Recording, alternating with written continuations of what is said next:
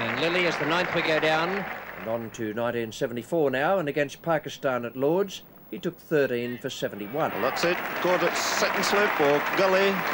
Underwood ball turning and liftings are here pushing forward and the second wicket down. Sun shining, helping the bowlers now. And that's another one. No chance at all there for Mushtaq. Turned, lifted. And Tony Greig at silly point taking the catch. Could have got anywhere. It's gone away miss this time. And it's not a no ball. Asif Iqbal lost to go this time.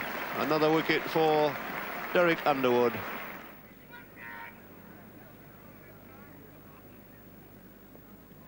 Oh, bowl him. A good quicker ball by Underwood. That's good bowling. Change of pace. Deserved that wicket into. Too slow with the stroke.